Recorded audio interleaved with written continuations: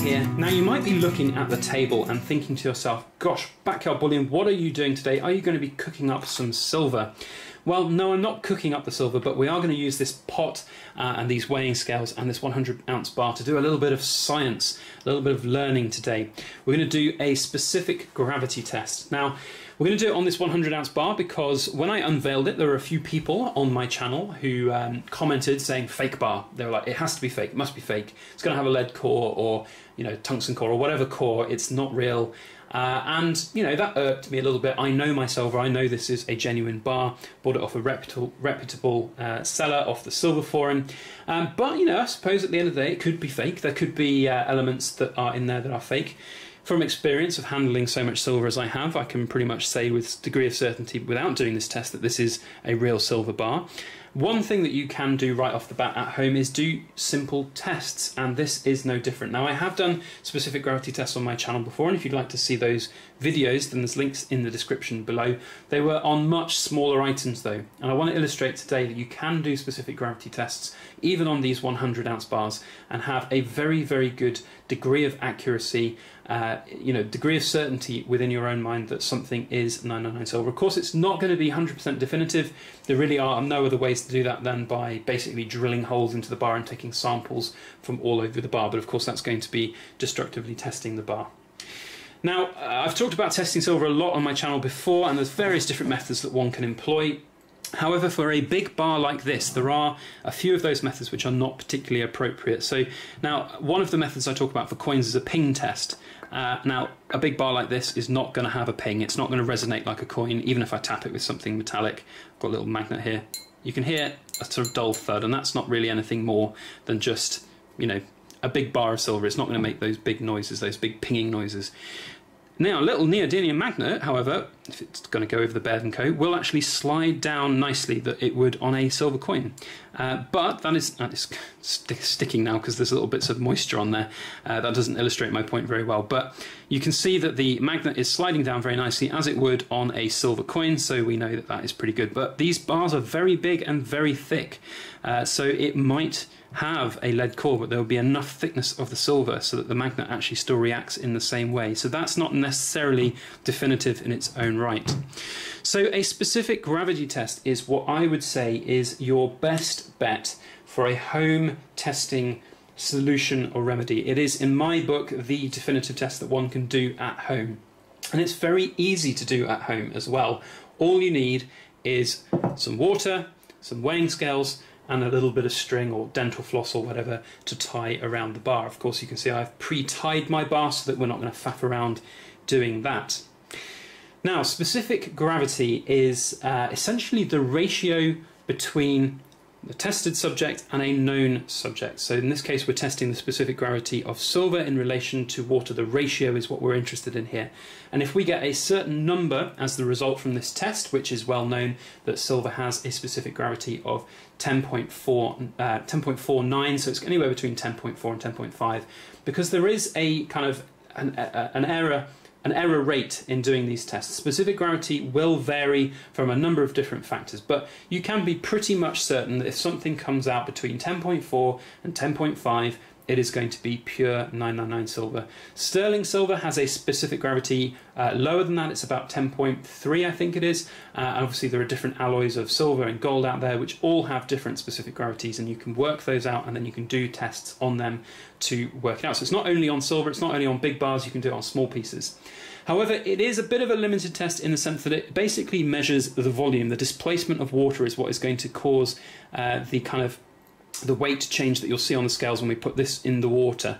Uh, and that is what is going to be measured. So if you've got a piece which has got a hollow center, or if you've got a piece which has got some uh, big 3D aspects and the water might not uh, get into all of it, or if it's got an air pocket or air bubble in it, uh, you're not going to get a true uh, result. And that is something to factor in if you are looking to do a specific gravity test. So the first thing that you need to do, and it's a very simple process, and you can Google this. Uh, there's loads of different videos out there. As I said, I've done a number of them before in the past as well. But this is what you do. So you take your subject that you want to test and you weigh it first. So that's always a good sign straight off the bat. You know, 100 ounces should weigh three, uh, 3.1 uh, 05 kilos. Um, so that is, you know, 3.12 kilos, that's fine. There's obviously a little bit of weight for the string on there, but that is fine. Record that weight, that is what you want to do. So we're going to do it in grams. So it's 3, 1, 2, 1. And you know, as I said, there will be a bit of error margin in this because of the uh, the sort of you know the string on there, the atmospheric pressure even makes a difference along these uh, things as well. So there's a whole host of different things, but overall it will be a pretty accurate test. The next thing you want to do is to get your scales and have the water in them, and you want to zero the scales. Now, you want to try and have the scales, uh, sorry, the water in the scales as calm as possible because obviously if the water is fluctuating around, you will get little fluctuations in weight. So, you know, if, if you just put it on there and it's you know bumping around big waves just wait for it to calm down and then you can go ahead and do the next step. So the next step is to get your silver bar suspended in the water and it's really important that it's suspended. You don't want to just put it in and have it touching the sides or the bottom. So I've got here my string around the bar and I'm very carefully balancing it and putting it in the water and you want to get it under the meniscus of the water not touching any sides and then you want to look at the weighing scales. Now, as you can see, there are numbers and they're flitting up and down. That's because the water is moving as I'm holding this bar. So just take a kind of an average. If you see a number that flits up more often than others, so here we're looking around the 299, 300 mark, I think. It's going up and down a little bit, but that's just the way it goes. So write that number down. We're going to write down 300. So you'll take the bar out and you'll notice that the scales are negative. They'll be lower than they were when they started. That's because some of the water has been taken out of the pot on the bar. So don't worry about that number changing. Uh, just record the number of the weight of the bar, or sorry, the weight of the suspension of the bar, which was 300. Then what you're going to do, very simple maths, you're going to divide the top number by the second number, and that will give you, let's get my calculator out so we can get accurate number. Move that across carefully, we don't want water flying everywhere. Would have been sensible to have your calculator out and ready, Backyard Bullion. Yes, I know it would, but that's far too much thinking ahead for my liking. So here we go. So what we do is we do 3, 1, 2, 1, and we divide that by 300. And those of you who are very good at maths will have already worked it out that it is 10.403. So that is a very good indication that this is 999 silver. Now, of course, there are um, you know other factors at play here that are you know it was wobbling around. The number wasn't quite accurate. Uh, you know, it could be a little bit more, it could be a little bit less. The string on the bar even is playing uh, into the factor a little bit. And uh, we can play around here. So if we, uh, you know, factor in that the maybe the weight of the bar is three one, let's call it one five instead of that number there, and we divide by um, oh, just trying to get my calculator out. So if we divide that by 295, for example, because we saw that number quite a lot on there, that would end up being 10.55, which is again another great number for something that's 99 silver. Again, if it was 3121 and we divide that by um, I don't know, 298, which was number, another number, you know, you can see that the, the different numbers there, so 3121 divided by uh, 298 equals 10.47. So you can see that there's a very little bit of kind of degree of accuracy error in there based on how your scales are, how accurate your scales are, how steady you are holding it. You can of course rig up a contraption that can hold it completely steady. That takes a lot more time and energy, but ultimately you know, you're going to get roughly the same results. What you're not looking for is something that comes out and it's like 8.1 or 8.3 or 9.4 or something like that. That would be a warning sign. But if it's coming out at 10.4 as we did right there, that's absolutely fine. And as you can see, if you've got a little bit of margin of error on either of these numbers, you get the right result. So you know, ultimately, that is how you do a specific gravity test, even on a big old chunky bar like this Baird & Co 100 ounce bar. And it's that simple. It didn't take long at all. It wasn't very complicated. You're not doing a whole host of really complicated maths. Of course, if you've got an alloy piece of silver, if you've got a big uh, lump of sterling silver or something you've bought off eBay that just uh, is a whole bunch of mixed metals, that might be a bit more difficult to do a specific gravity test on. But, you know, this is a pretty good indication. It's not foolproof though, because obviously there are different alloys of silver out there or different alloys of metals out there that will have similar specific gravity tests.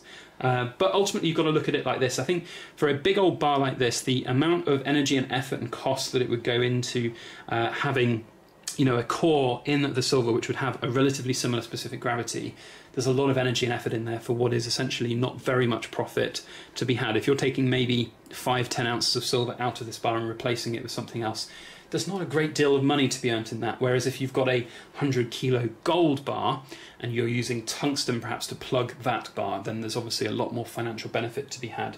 So you don't often find a lot of these fakes out there. But very interestingly, I did hear a very um, disturbing story from the Edinburgh Office about uh, 10 years ago. There was a big, um, not I was going to say some conspiracy, there was a big um, kind of discovery of some plugged silver bars which were hallmarked, I think, by the Sheffield Assay Office. So that inspired all of the different assay offices to take a lot harder a stance on testing bullion bars before hallmarks were placed on it, which is why you see a lot of drill testing and destructive testing from Edinburgh Assay Office and others as well. But anyway, that is how you do a specific gravity test on a 100 ounce bar. I hope you guys have enjoyed that. If you did, please put a thumbs up on this video and share it around on your social media. That would be very helpful for everything that I do here on my channel to help continue to grow it as well. And if you'd like to see more videos like this, I've done other specific gravity test videos. They are linked down in the description below. But if generally you want to see more videos like this in the future, then please do let me know and hit the subscribe button. And if you want to get notifications when I upload future videos, then make sure you hit that alarm bell. Otherwise, that is all I have to say. Thank you so much for watching, and please make sure that you like, share, comment, and subscribe for more.